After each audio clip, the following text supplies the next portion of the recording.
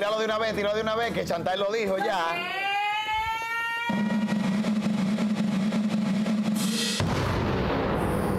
¡Suena! ¡Qué rico! Con bomba y todo. Mira qué bonito, hay como una, o sea, Carmen lo mencionó ahorita, esa combinación, pero está como así, como diagonal. Amarillo. Amarillito. Amarillo.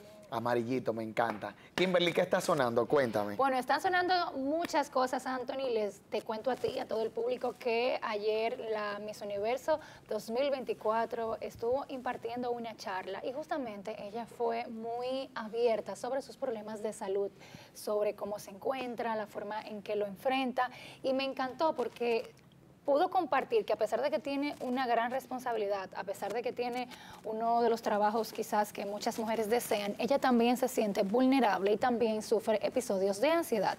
Y es que Chainis Palacio Miss Universo 2023 se mostró vulnerable sobre su batalla contra la salud mental. Durante su visita este lunes a la Universidad Autónoma de Santo Domingo, UAS, donde impartió una charla de motivación a los estudiantes, la Miss Universo Nicaragua confesó que antes de su reunión con el rector de la Casa de Altos Estudios, tuvo un episodio de los que le han ido incrementando con la cantidad de trabajo que tiene ahora con su vida como reina.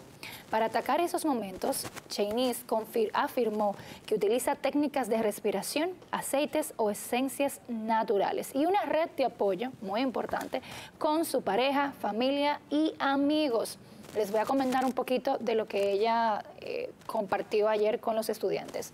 No hace poco, menos de dos semanas, fui diagnosticada con terapia crónica, es decir, que debo ir a mis terapias semanalmente, producto evidentemente de tanta responsabilidad que tengo sobre los hombros como mis universo.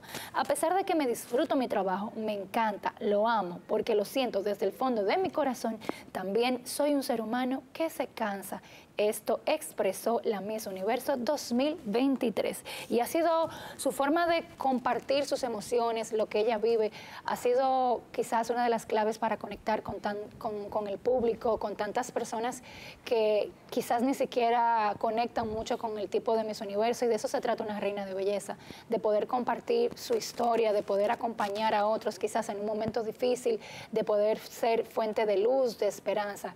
Y Chainis lo ha hecho de una manera excepcional. Qué bueno que a través de su historia ella puede inspirar a otros jóvenes también que tienen ansiedad, que tienen situaciones difíciles, a que puedan superar esa parte, pero sobre todo hablarlo. Yo creo que lo que más necesitamos es iniciar a, normalizar un poco la conversación de que me puedo sentir mal, de que quizás tengo ansiedad, de que es normal que me, que me pase algún tipo de, de mini depresión por, por un cambio, por mucho trabajo, que a pesar de que estoy feliz con lo que hago, pero mi cuerpo también sufre un tipo de, colapso o un tipo de situación. Entonces, cuando podemos normalizar y abrir esta conversación, entendemos que eso le puede pasar a cualquiera, incluso podemos levantar la mano y pedir ayuda, que es lo más importante. Qué bueno que ella pues abre su corazón con relación a ese tema, Kimberly, porque la gente ve ese trabajo muy bonito, y, mucha belleza y mucho maquillaje y mucho, mucho artitaje, como decimos aquí en República Dominicana. Pero la presión que se vive no es nada fácil, porque tú saber la responsabilidad que tienes, como mencionaste tú, pero también el compromiso de que tanta gente te sigue, que tienes que mantenerte siempre bien puesta, que si sales con una pestaña mal puesta de una vez ya tú sabes, pero si dices una palabra en un lugar donde no debería estar tan bien. El tema de, etiqueta y protocolo de cada país. Todo, o sea, es un todo y es obvio que en algún momento debes colapsar porque eres humano. Y uno se queda sin nada, Antonio. Llega un momento... Tú viviste y, ni siquiera lo viví aquí. Eh, cuando yo gané mi Italia en el mundo, lo viví como... porque allá se vive esto como una Miss Universo. Yo duraba tres, sí, tres días y, hice el labor que hace una Miss Universo. Tres días en una ciudad, cuatro días en un país.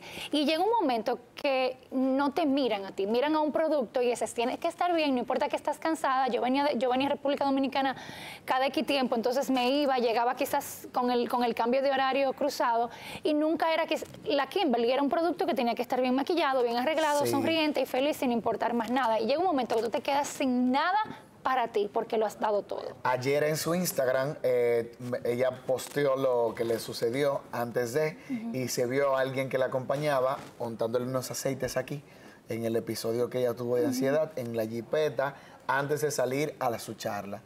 Y en la noche ella posteó pues que tuvo que tener su terapia, como de costumbre, vía Zoom con su terapeuta. Y qué bueno que ella se abre de esa forma para normalizar que la salud mental también necesita mm, ser, eh, ser tratada. Así es. Porque a veces lo dejamos como así por así. Continuamos con otros temas y atención porque WhatsApp acaba de confirmar que elimina la función modo espía.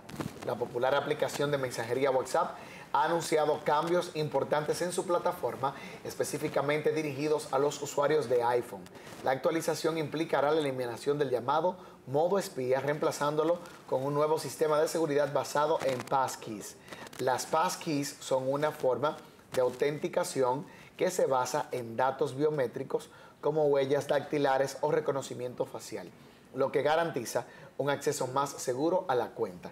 Esta medida busca brindar un mayor, eh, una mayor protección y privacidad a los usuarios de WhatsApp, asegurando que solo el propietario de la cuenta puede acceder a ella.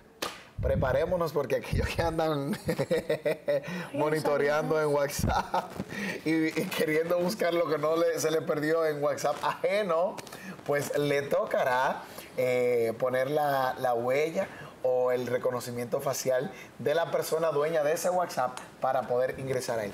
La aplicación existe, o sea, eh, ya esto existe. Lo que pasa es que ahora ya será eh, de manera permanente. Yo no sabía. Será de manera permanente, sí. ¿Tú buscas mucho en, WhatsApp ajenos? No, si tú supieras que no. No soy buscador. Pero en algún momento tuve esto del reconocimiento facial y lo quité porque en verdad el que nada debe. Nada teme. Pregúntele a José si tiene reconocimiento facial. Anthony, muchacho. Dios mío. Y Carmen, Carmen, ¿tienes reconocimiento facial? Ay, no. no ve la pobre como me mira. Señores, terminamos este segmento mostrándoles ya así el logo oficial de mi marca. Ahí está en pantalla, Raíba y Anthony Tejada. Eh, ahí justamente pues están los elementos que componen esta marca, que es la raíz, la montaña, eh, la, madera. La A de eh, Anthony. la, A de, Anthony, exactamente. Y, qué bonito ver ya sueños materializados, sueños cumplidos y, y la satisfacción personal que uno siente más que lo que te puedan decir, más de lo que te puedan expresar la gente, pues es también como el tú decir, conchale, lo logré, lo, hice. Así como te sientes tú con tu obra, como lo dijiste, las emociones que tienes, así mismo siento yo eh, y siente cualquier persona cuando logra algo y cuando sabe que ha dado trabajo y sobre todo que lo ve ya salir a la luz. Ahí estuvo el, el user de mi Instagram, de, de la marca, para que me sigan por ahí y estén pendientes a todo lo que viene. Así es, ahí está para que puedan apoyar, compartir, conocer y disfrutar de una marca hecha con el corazón y mucha calidad. Nosotros continuamos con más de Como en Casa.